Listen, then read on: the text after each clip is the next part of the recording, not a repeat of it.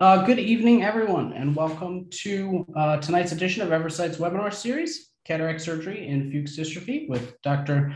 Uh, Divya Srikumaran. Uh, just a few quick notes before we begin. Uh, all participants will be muted throughout the webinar to eliminate background noise. Um, you can type questions that you have for Dr. Srikumaran uh, at any time into the Q&A panel at the bottom of your screen. Um, she will answer those at the conclusion of the webinar. And now I'll just give her a brief introduction. Um, Dr. Divya Srikumaran is an associate professor of ophthalmology in the Division of Cornea and External Disease at Johns Hopkins Wilmer Eye Institute. She received her medical degree from Northwestern University Feinberg School of Medicine, after which she completed her ophthalmology residency and a cornea fellowship at the Wilmer Eye Institute. Uh, Dr. Srikumaran's uh, research interest includes the assessment of corneal transplant outcomes and risk factors for receiving keratoplasty uh, through big data sources, including administrative claims data. Uh, she received the Hopkins Center IRIS Registry Research Fund Award through the American Academy of Ophthalmology, as well as the EBA pilot research grant to study real world endothelial keratoplasty outcomes. She's leading a team uh, to integrate Wilmer's clinical data into the IRIS registry and the source EHR re repository. She's also a renowned educator, currently serving as the Vice Chair of Education and previously the Residency Program Director. As Vice Chair of Education, she has an interest in medical education and studying best practices to support doctors in training. Blending her passion for both education and expertise in corneal surgery, Dr. Srikumaran has uh, also studied barriers to adoption of advanced keratoplasty procedures by cornea specialists in the US and abroad. And now I will turn the floor over to you. Thank you so much, Michael, for the introduction and thanks for having me. Uh, welcome everyone to the webinar. Thanks for listening. So um, as many of you already know, Fuchs corneal dystrophy was first described by Ernst Fuchs, an Austrian ophthalmologist over 100 years ago in 1910. Uh, he first noted the epithelial bullae that occur in the late stages of this disease and named it dystrophia epithelialis corneae. It wasn't until later that we discovered that the underlying problem here was actually of endothelial dysfunction and uh, the guttae that are seen classically on exam as shown here on the images. Um, it's a hereditary condition with a female predilection and symptoms often begin in middle age. Um, the, this is currently the most common indication for keratoplasty in the United States. So the treatment of uh, surgical treatment of Fuchs has evolved over the last 20 years from full thickness grafts to endothelial keratoplasty. Uh, most recently, it's evolved from both from DSEK surgery to DMEK. And in the future, we may see this progress to Descemet stripping only or other cell-based therapies.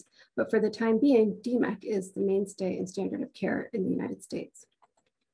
So as we can see from the EBA reports in the United States, the number of DMEK procedures have been steadily increasing over the past decade. And in 2021, the number of DMEK and DSEK procedures were nearly the same. So in general, our improved visual acuity outcomes and the lower risk of EK compared to PK surgeries have changed our threshold for offering keratoplasty to patients with Fuchs. And this in turn has resulted in a shift in our approach to cataract surgery in eyes with Fuchs corneal dystrophy.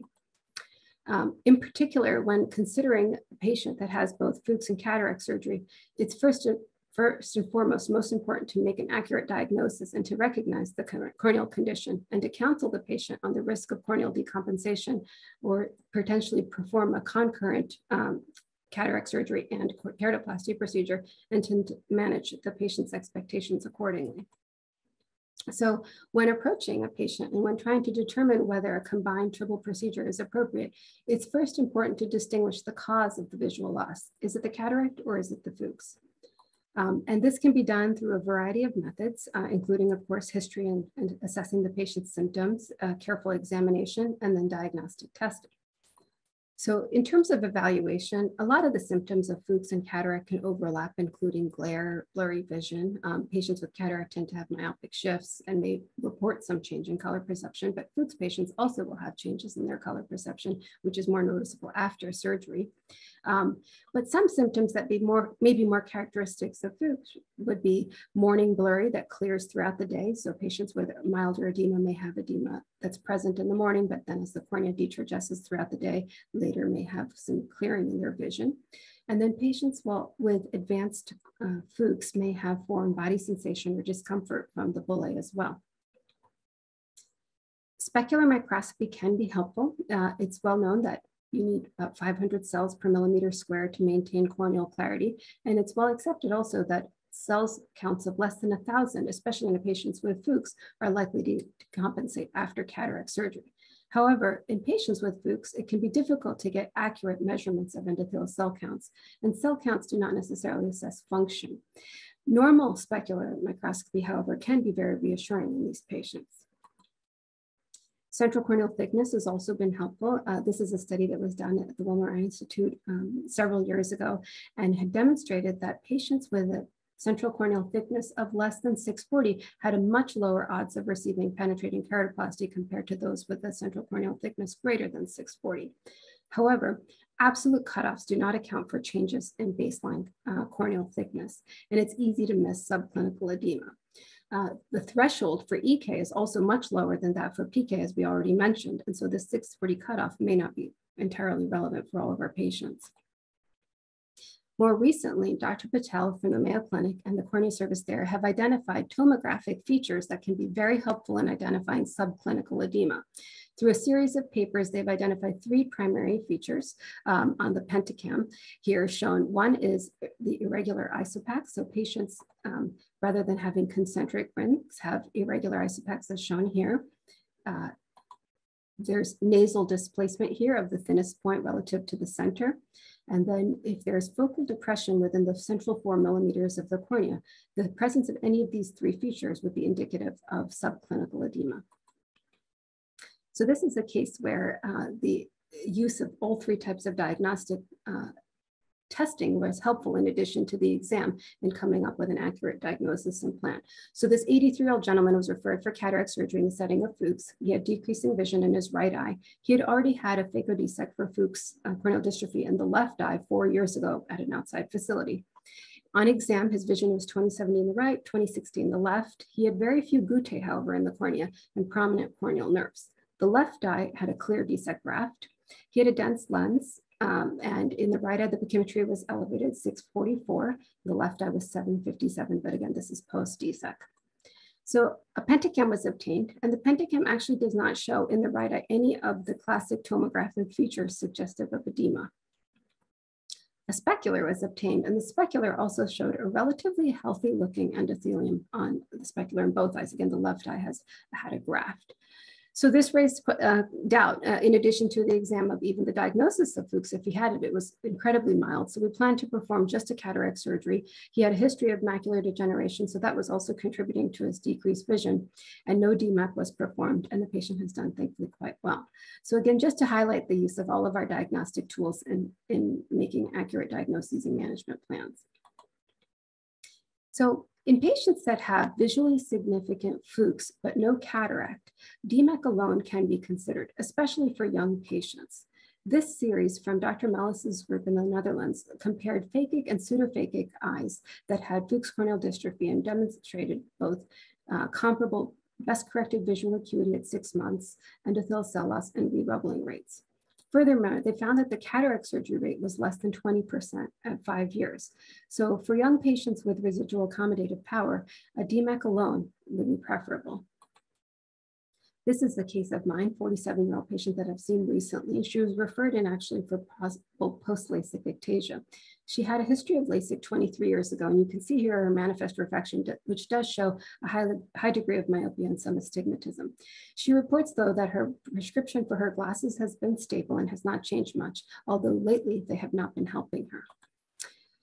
Uh, on exam, uh, we noted four plus guttae in both eyes, and there was also paracentral stromal edema in the left eye. Um, this eye both eyes had a LASIK scar. Her lens was clear. On pentacam, we could see that the left eye does have a high degree of corneal irregular astigmatism and inferior steepening. Both eyes actually had some inferior steepening. But in the left eye, despite uh, this eye being steeper, uh, the corneal thickness was actually greater.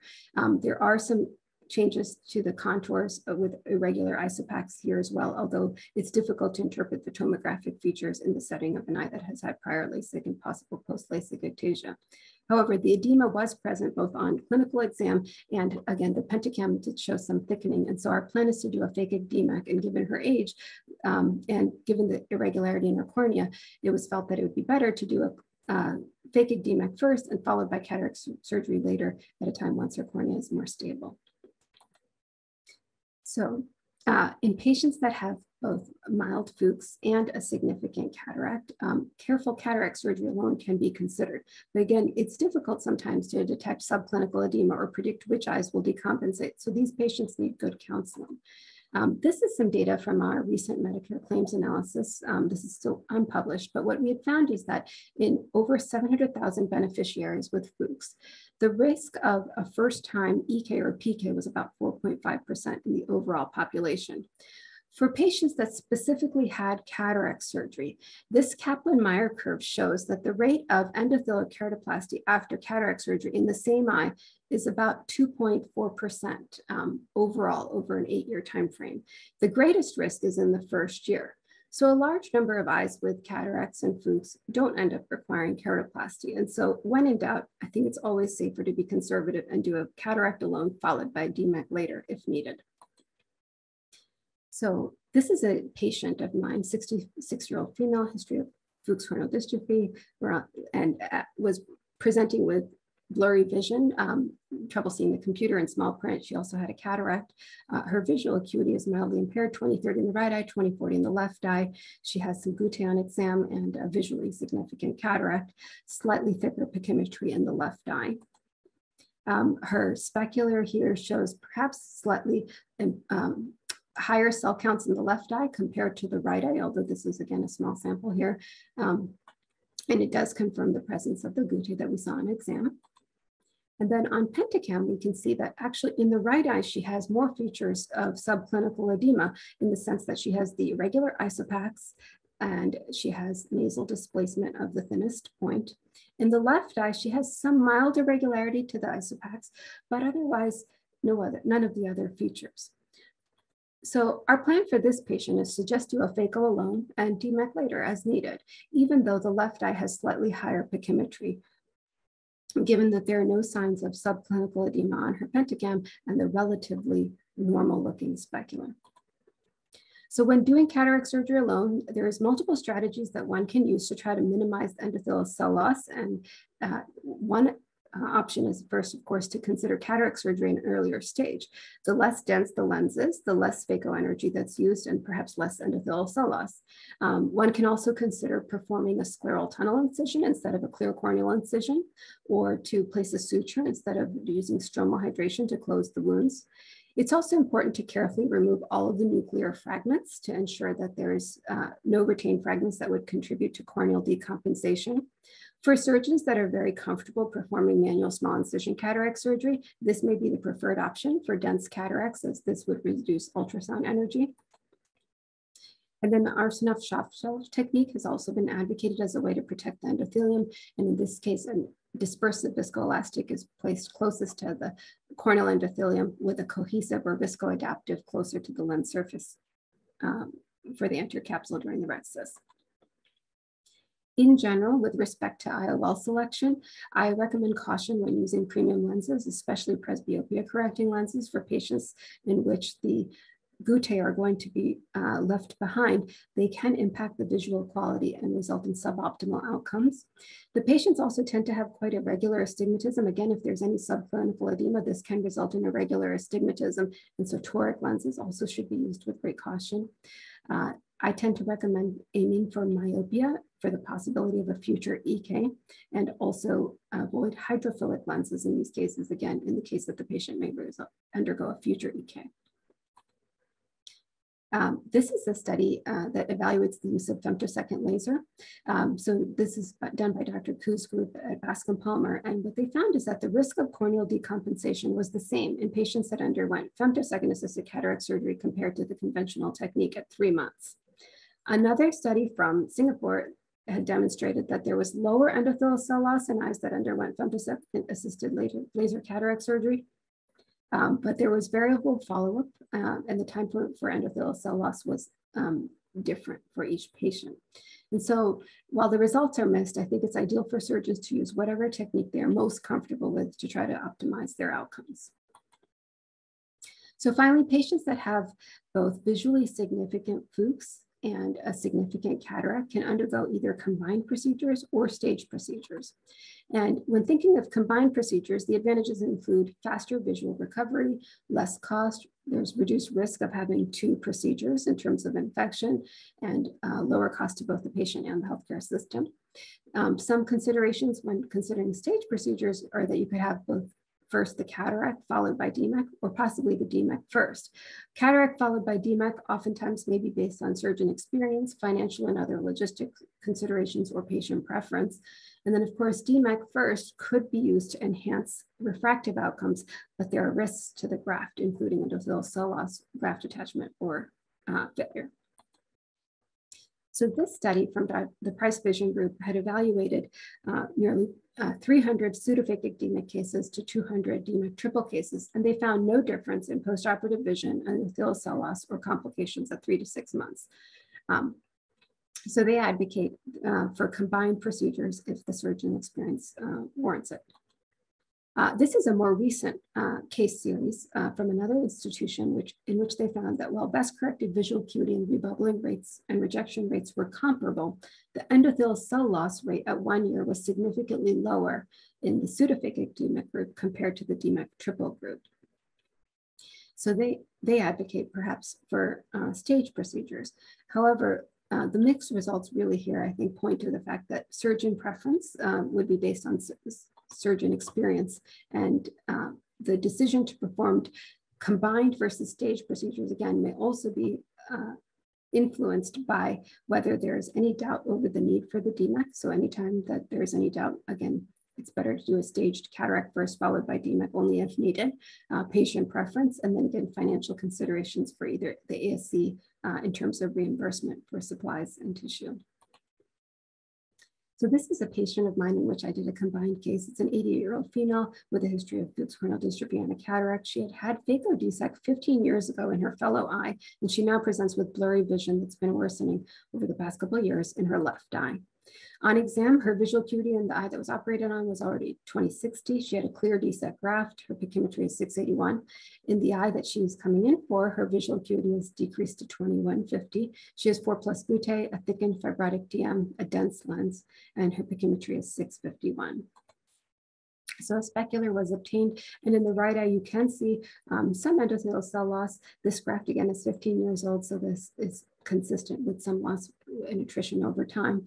And the left eye, uh, that specular actually was a, a, very poor quality. It's hard to discern uh, any of the endothelial cells there. Her pentacam again shows tomographic features of edema. She has uh, displacement of the thinnest point. She has irregular isopachs and then some focal depression here seen um, paracentrally. So our, we did a phaco DMEK. Her visual acuity at four months was, uh, sorry, at six weeks was 2040. The graft is clear as you can see her on this OCT and her pachymetry has decreased from 651 to 466 post-op.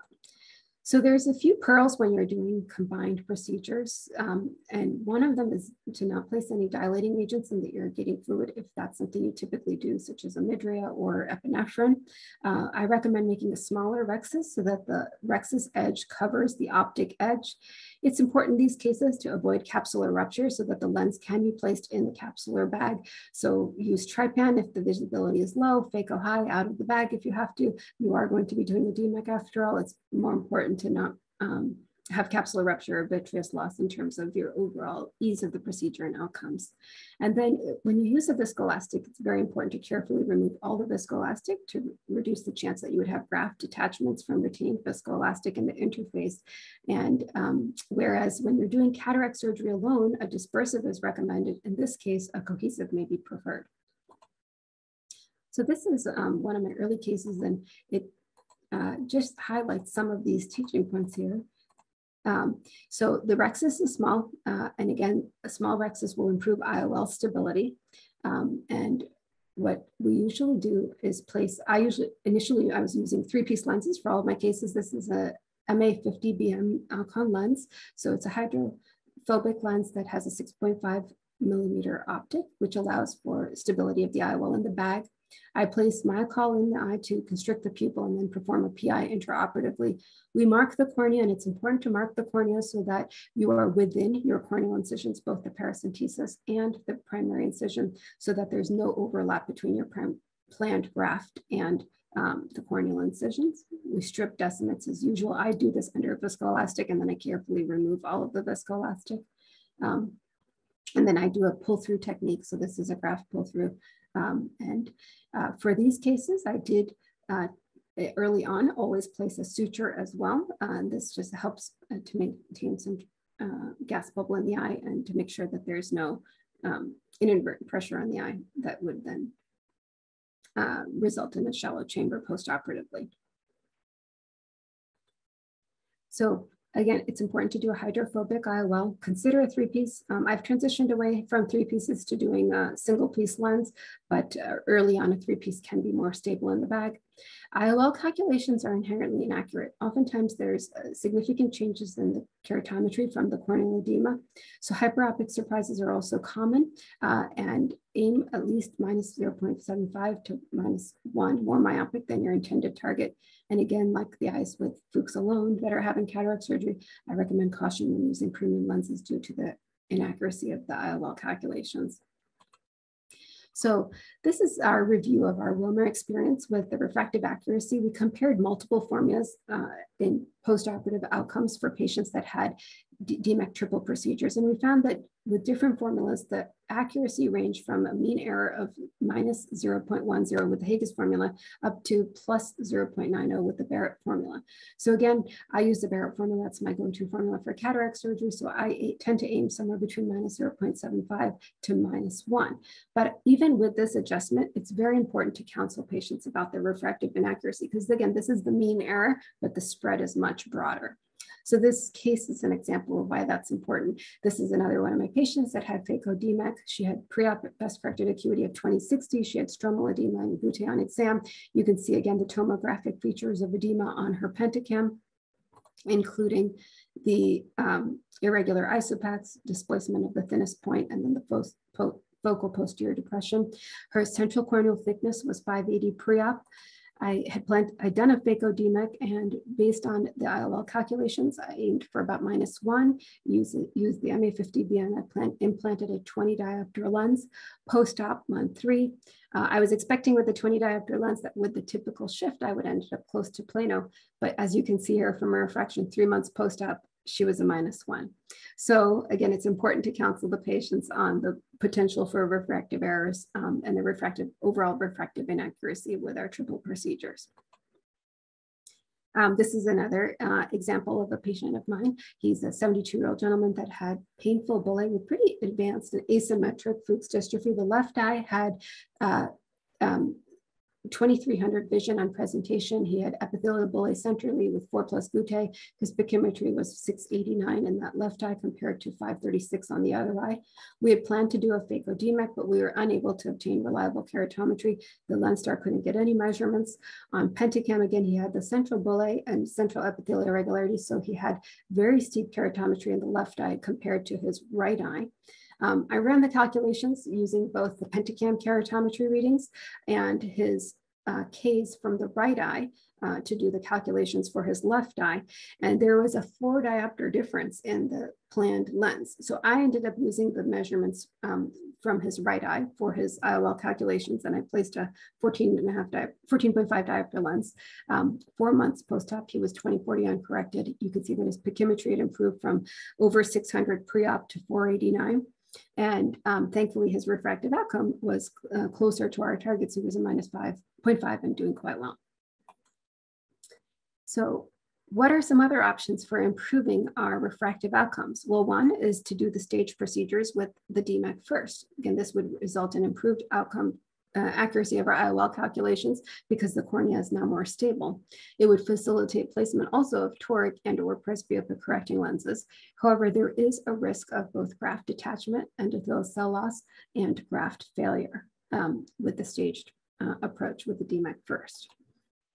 This series from the Price Vision Group evaluated the use of presbyopia correcting lenses and they performed stage procedures again with the DMEK first, followed by cataract surgery. And in these 69s, they did get good results in terms of both uncorrected distance and near vision with um, these premium lenses. Another option would be to use the light adjustable lenses, which are more recently available in the United States. Uh, this is a case report with two, uh, two patients with uh, 2015 uncorrected visual acuity in their dominant eye with the light adjustable lens placed during the time of a DMEK triple procedure. So this could be a nice option so that we can do combined surgeries, but still improve our refractive outcomes rather than having to do staged surgeries.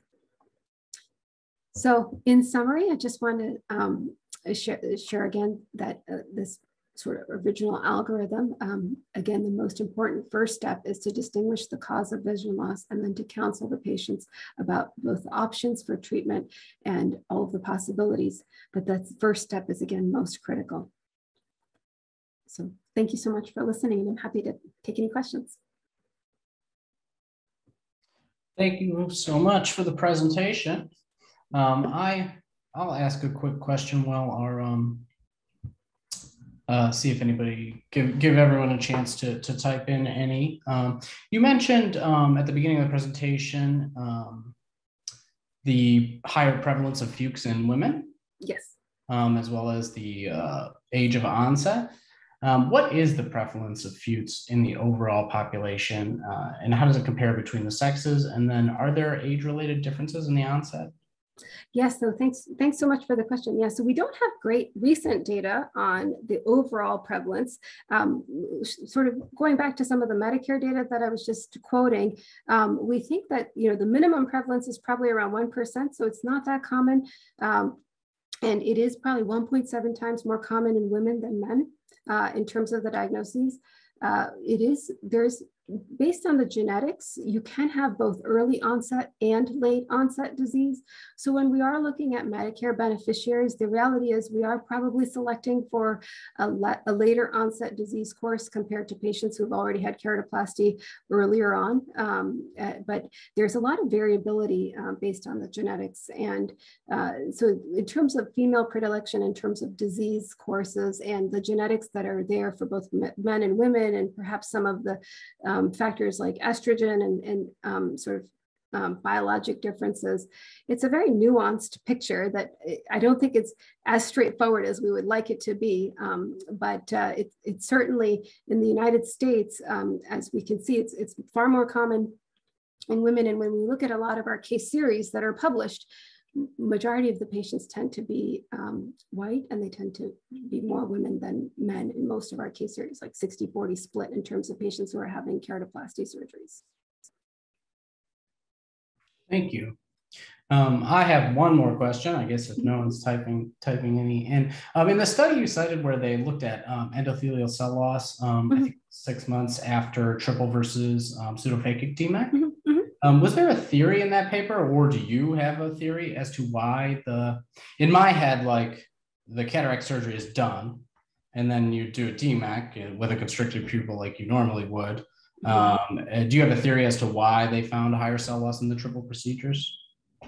So I think that that has to do probably with the intraoperative manipulation. So when you're doing a triple procedure at the same time, sometimes the lens is more unstable. And, uh, you know, when we were doing our typical technique, the conventional technique for DMEK, you're shallowing the chamber. And so if the IOL is less stable, perhaps there's a little bit more contact between the IOL and the graft, um, or it just takes a little bit more time with manipulation, more time to unfold. And um, that can sometimes, uh, I think, contribute to greater endothelial cell loss. So I, I think it's most likely intraoperative manipulation, basically. Hmm. Interesting.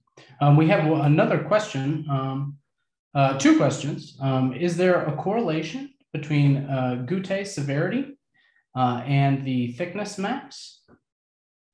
Um, so to my knowledge, there isn't a great correlation between the guttae severity and the thickness maps. Um, I think a lot of the patients that tend to have more um, more advanced edema tend to have more significant guttae, but I don't know that there is a direct correlation. Okay, thank you. And then the second question from um, Dr. Lass is, Um, has the advent of uh, DSO uh, changed your approach to the management of patients with cataract and Fuchs? Yeah, thanks so much for that question. Um, so I think that there's the role for DSO and these patients is still evolving and still not clear. I think that there's um, some patients that clearly there's some patient selection that needs to go into this, and you know the literature suggests that maybe that you need to have patients that have central guttae that have clear peripheral or per, uh, preserved peripheral endothelial cells, but sometimes that can be very challenging to determine um, with examination and with our typical specular microscopy that we have available. Um, and so it can be quite difficult to figure out who is a good candidate for this procedure and who is not. And I think in general, there's a lot of patient um, expectations and their needs. So with patients that are undergoing DSO, the prolonged visual recovery is something that can be quite challenging for a lot of patients. And so it's harder to find both clinically and from a social and patient standpoint, um, the, the right mix here. And for me, I would say that most of my patients, I'm still offering DMEK for the patients that have um, visually significant edema and who are looking forward to having faster visual recovery. Um, so I haven't found uh, that I'm using DSO very often in my own practice, but I'm looking forward to sort of getting more data on the outcomes longer term, as well as um, better guidance on who really would benefit from this procedure. Great, thank you so much. There are um, no other questions at the moment. Um, so um, we'll go ahead and close. And uh, thank you so much, everyone, for coming tonight. Um, thank you, Dr. Srikumaran, for lending us your knowledge and expertise for the evening. Um, this webinar um, and all of our webinars will be available on our website, eversightvision.org slash webinars. Um, and uh, as an attendee, you'll receive a very brief survey related to the webinar. Please take a moment to let us know what you thought. Uh, thank you to everyone and have a wonderful evening. Thank you. Good night. Good night.